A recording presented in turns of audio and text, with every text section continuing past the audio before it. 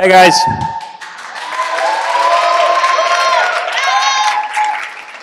So, my name is Julius. I'm from Finland, and uh, I came here to uh, improve my programming skills. I used to work in the IT for about six years, but I was doing everything else but programming, so I wanted to learn more about the actual stuff that makes things happen in, uh, in my line of business. So, um, my app is called Apply, and it's made for keeping track of your job applications as an applicant to, let's say, 50 or 100 companies. And uh, the problem here is staying organized when you're applying to lots and lots of different companies. And you might not remember that you even applied to some company, and all of a sudden, an HR person sends you an email, and you don't even remember the guy or her, and uh, you might just want to see what's going on in your process at all times. And the solution for me is a tool for keeping all job applications in one place. And I wanted to provide a smooth user experience just to make it easy to add new leads to different companies and to update them when, you, when they're there.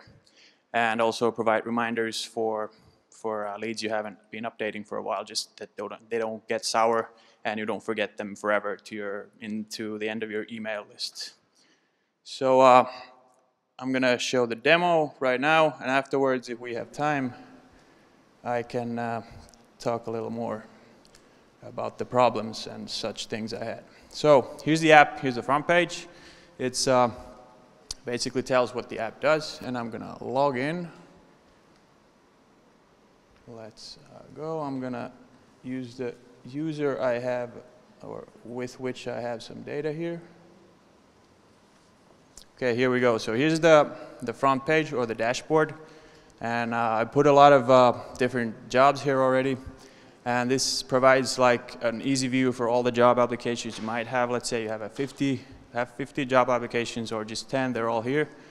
And uh, you can drag and drop things to, to different columns. So here it updated the status to an interview status.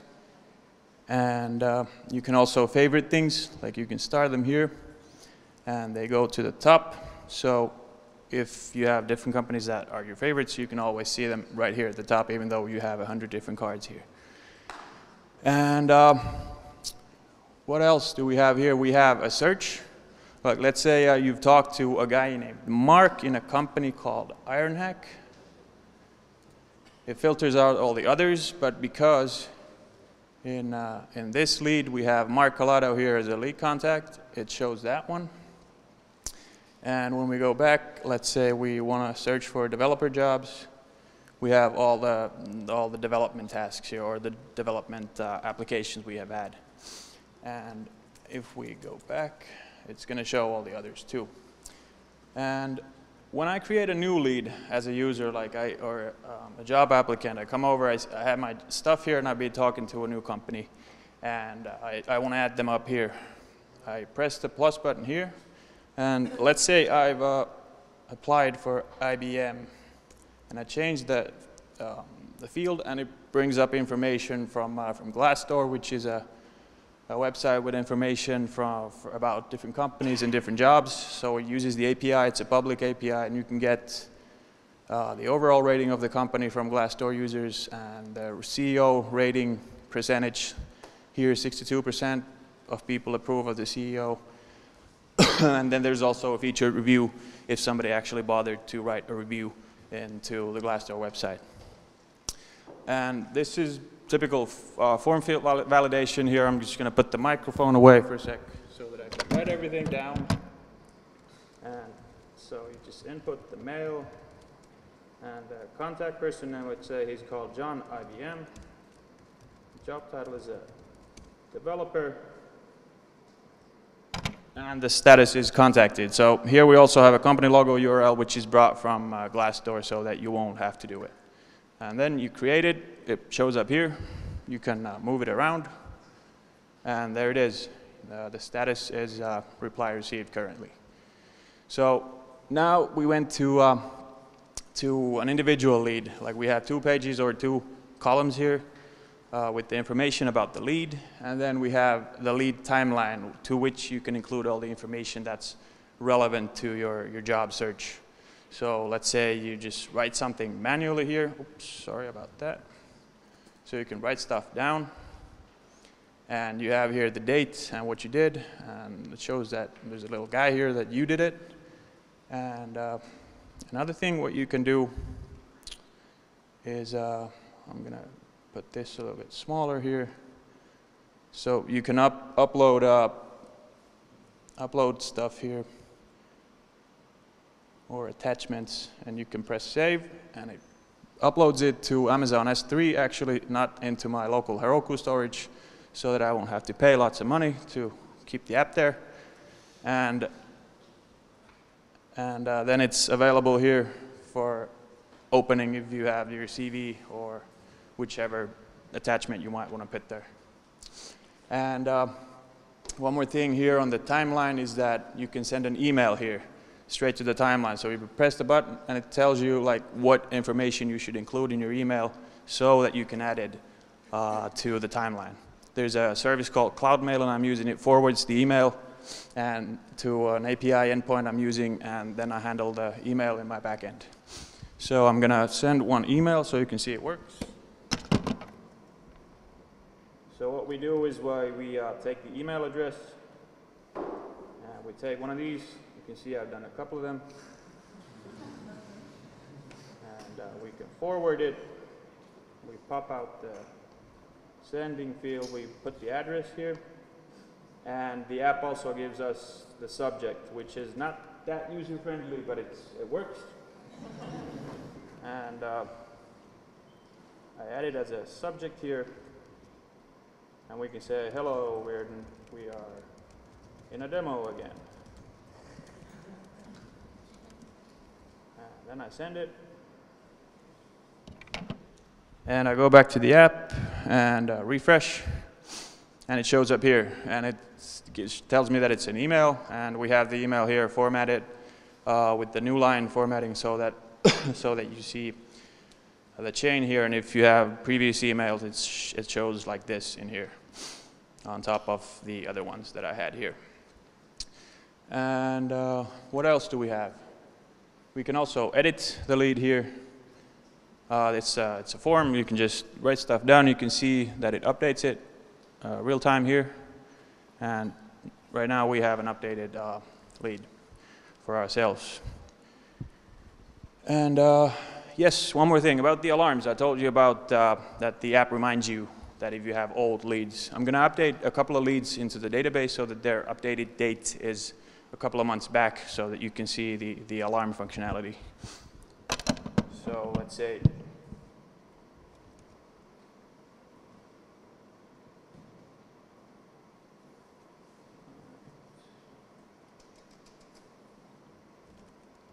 So I'm putting this to, to March. And if you bear with me, now let's put this one here to uh, April. So now we're putting them straight to our production database and we can see that I'm getting a little nice alarm clock here that tells me that there's two, two things I need to uh, take care about or take care of. And if I click on it, I can see that I haven't been updating two leads in, okay, it says two weeks, I should put more than two weeks. But anyways, I have uh, Google and Instagram here. So if I update Google, where is it? It's here. So if I drag it here, it, the number goes down, it decrements because it's updating and the, the header component sees that something's happening here. And it emits a certain kind of uh, action that the header component sees. And also here in Instagram, let's say, stop bothering me. Oops. And we say save, and then it updates the header component again because we have updated our lead, and the updated date is again uh, very current or current, which we can see here as well. And yeah, I think I've gone through the basic functionalities here, what I got made in two weeks. And uh, oh yeah, it's also one more thing. It's also responsive, so if you want to use it with the phone, it works like this. Um, if you go to uh, a lead, it's, it looks like this. So basically, you can do the same stuff as well on mobile. And uh, let me change back to my uh, presentation. So what I did every day, I wrote a lot of things down. I uh, structured all the, the uh, all the views as pictures first. They didn't look exactly like what I did, but it helped writing things down and making lists of what I have to do in order to get things ready. And I also did a lot of lists every day. Maybe I had a problem that uh, I was I couldn't solve, but I got usually got them solved the next day. But at least I remember what I was doing last night, and then I came back, and usually it took a short time to solve it because in the, in the evening you're tired and when you come back in the morning you, you thought of it in the evening maybe a little more and, and during the night and then it's easy, easier to solve every, every time. And it's also helpful to drop processes down and see which function calls what and which component needs, the data, needs some data to render something and so forth. I also did a lot of commits like Mikael and JB uh, by myself, about, about half of your project apparently. And, uh, and overthinking things is also dangerous. Like I thought, I, I tried uh, doing things a little more, more difficult than they were, or I, thought that they would be more difficult than they were. So I usually try to first make, make things work, then make the code look nice and make, make the page look nice, and then optimize it. But I don't know how to optimize, so I didn't do that. But if you can, it's fine. You can do that as well. Make indexes and other things like that. I'm not very good at those. And uh, yeah, build for production and deploy often because usually you can have weird errors that happen only when you've deployed because you've, your code is minimized and uglified and all these JavaScript terms. And then you can run into surprises that you will only see when it's working in real world. And I use a component library to make things look nicer.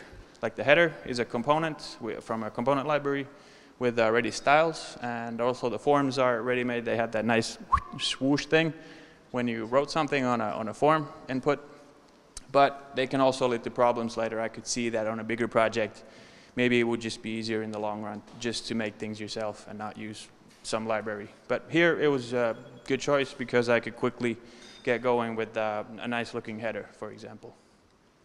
Uh, that's my presentation. Thank you very much.